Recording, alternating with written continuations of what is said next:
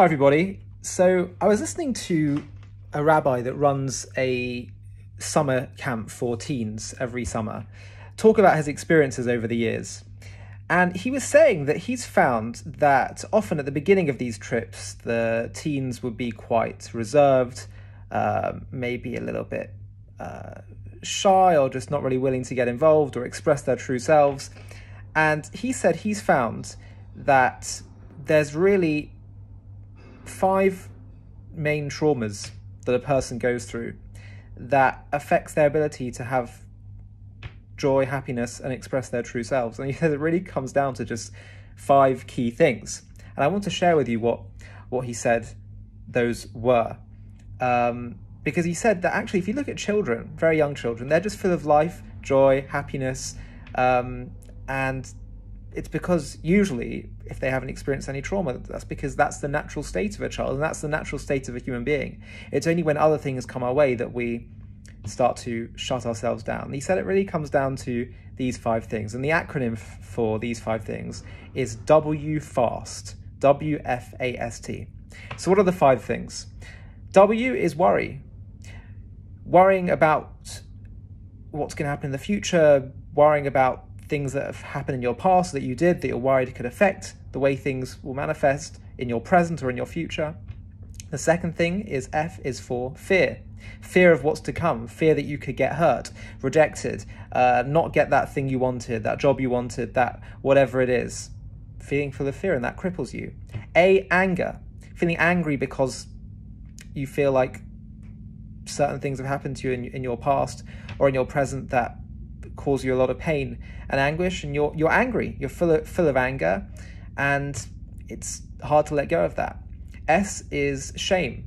If you felt hum- humiliated in the past, or embarrassed, or made to look weird, or whatever it is, um, that can really cripple you. It can make you make you just feel like you can't be yourself.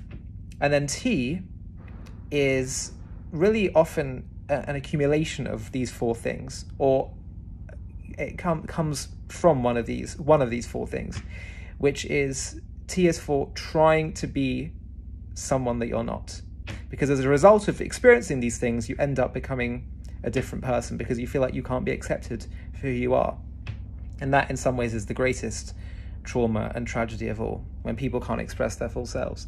And he actually said it's amazing that these five things can be um, expressed quite neatly with the five fingers.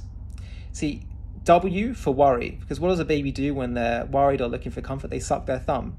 F for fear, because if you want to intimidate a child or scare them, you point your finger at them. See, don't do that, and you create instill fear in them.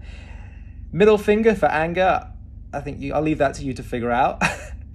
um, the fourth finger for shame and, and humiliation, um, this is the weakest of all the fingers. It's actually used. You find makeup artists will use it because it's the to you know on their face because it's the least um, ag- aggressive finger, and that's what shame and humiliation does. It can make you feel a bit weak and and, and, and numb and, and sort of want to just curl up uh, and sort of not face the world.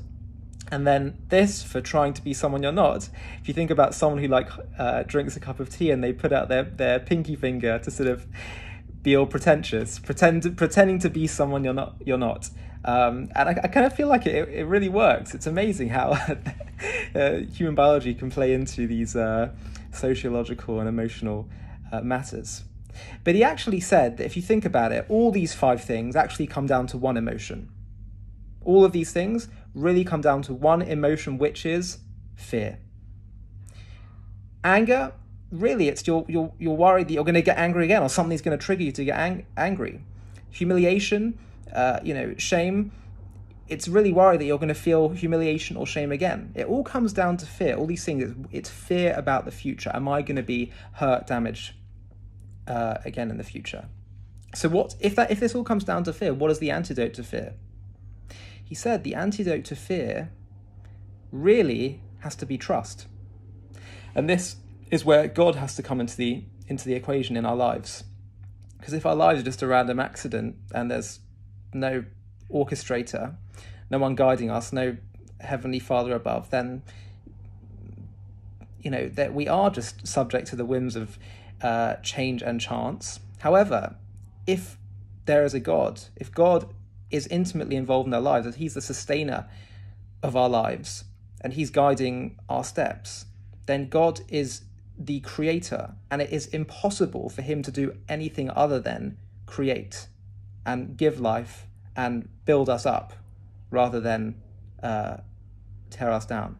This is an absolutely essential part of, of creating a, a healthy human self.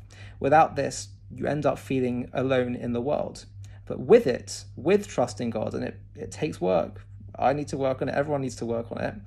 Um, but with it, you're able to become much more accepting of your, your full self and to face the world with uh, pride and, and self confidence and, and self love because you're a creation of God and God is guiding your footsteps.